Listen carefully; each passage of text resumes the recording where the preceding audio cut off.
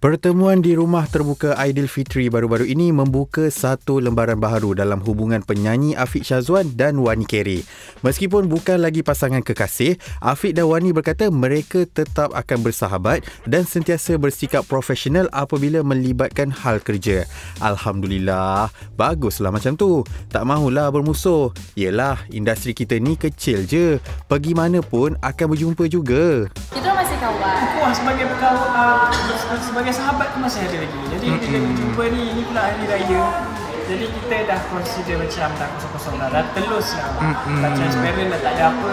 Sebab berkawan tu masih lagi berkawan. Kalau nak bertemu pun tak ada pun nak mengelak. So macam kita fikir kalau next program ada kerja yang perlu bekerja sama bagi kami berdua tak ada masalah. Tapi uh, secara personalnya masih berhubung tak? Directly, message ke, DM ke? Kalau untuk personal atas urusan kerja sahaja. Sebab mm-hmm. macam kita orang dah pernah cakap to each other yang whatever happens, stay behind. Tapi apa-apa yang perlukan kami untuk berhubung dan bekerja, we just work professional. Kena juga. Untuk side saya, saya tak kisah. Saya sebagai penyanyi, selebriti, saya tak kisah. Saya work as a professional. Saya rasa Wani pun sama kot. Cuma kita serahkan pada management. Sebab kami management yang berbeza.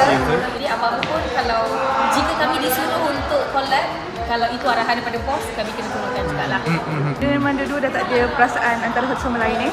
Tak ada, tak ada. Ah. Dia macam ni lah, kita go with the flow sebagai kawan. Memang tak ada maksudnya belum ada apa-apa yang serius sebagai macam mana dulu. Ha, benda tu belum ada lagi. So kita just berbaik seperti kawan biasa dan saya pun boleh terima masalah dan ni Wani pun boleh terima masalah saya. So that's why macam saya cakap tadi kita transparent kita professional and jadi kawan. Sebab kawan tu lagi best rupanya. Lagi lagi tak gaduh? Ha. tapi macam mata Wani tu jeling-jeling tu ada masa ada yang dendam yang tak habis ke? Sajalah tanya. Tak ada lah mana ada. Kita okey je tak ada dendam apa-apa. So Wani rasa macam Wani dah kenal Afiq dari dah lama dah dari kecil. Jadi bila kita ada bergaduh sebelum tu Wani rasa itu sebenarnya adalah proses untuk kami membesar rasanya untuk menjadi uh, seorang yang lebih memahami. Tapi untuk sekarang ini kita dah set barrier yang barrier yang cukup sekadar kawan sebab tak nak benda-benda yang akan datang kalau kami berhubung balik benda tu akan putuskan hubungan sebagai kawan lah. Dia, dia simple lah jangan serius sangat. Maksudnya saya dengan dia pun macam jangan serius sangat lah. Dalam hubungan jangan serius sangat. Kalau perbualan pun jangan serius sangat. Sebab bila berkawan dengan kadang benda uh, kecil pun uh, kita akan ambil benda tu macam simple. Tapi bila hubungan serius benda kecil pun boleh jadi masalah besar. So buat masa sekarang memang kami berkawan saja. Tak ada masalah pun. Okey je tak ada masalah juga lah nak keluar berdua. Okay, susah sikit kot. Ingat ada dan keluar dengan kawan-kawan. Tak dengan kawan-kawan. Sebab klik kami adalah macam sama. Yang sama. Saya dengan kawan kawan dia. Sebab kalau nak lari pun tak boleh. Sebab kadang contoh kalau Sisi, Sarah Suairi, mereka kawan baik kita orang. Kalau orang ajak jumpa, kita orang ajak jumpa ramai-ramai. Jadi untuk tidak berjumpa dengan dia tak betul pun jadi pelik juga lah. Macam tak best. Dan benda ni pun bermula daripada house tahun ni juga. Bila Sisi jemput open house, ya. terpaksa jemput tapi terpaksa juga jemput orang ni.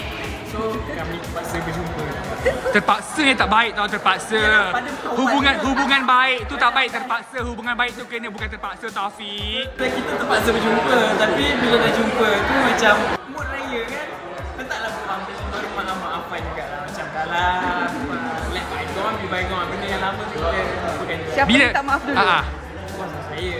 Salah Afiq lah. Tak ada lah. Benda personal issue tu kami rasa cukup lah kami je yang Dan macam Wayne cakap, we move forward untuk jadi orang lebih baik. Dan kami tak nak putuskan hubungan kawan itu sebab kami dah berkawan dari kecil. Jadi tak best untuk putuskan hubungan semata-mata personal issue kita orang.